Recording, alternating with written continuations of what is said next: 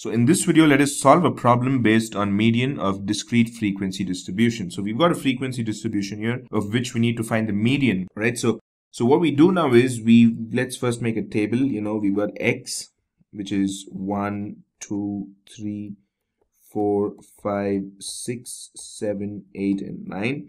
And then say we've got F, which is 8, 10, 11, 16, 20, 25, 15, 9, and 6. So what we have to do is we need to write the cumulative frequency, which is A. So it's 18, 18 plus 11 is 29, 29 plus 16 is 45, 45 plus 20 is 65, 65 plus 25 is 90, 90 plus 15 is 105, 105 plus 9 is 114, 114 plus 6 is 120, right? So this is the cumulative frequency. The next step is to sum up the entire frequency, which is again definitely 120 because that's what we did here. So we've got 120 in the end. So now what we have to do is divide n by 2. This is n. So which is 120 by 2 and that gives you 60.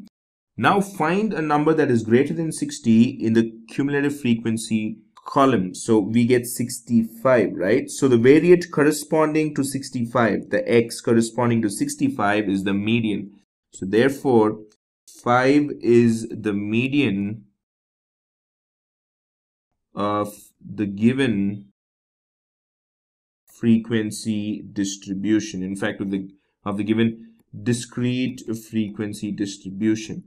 Right, so this ends this very simple video based on a very simple problem. So I'll see you in the forthcoming videos with, uh, it's a grouped frequency distribution or a continuous frequency distribution.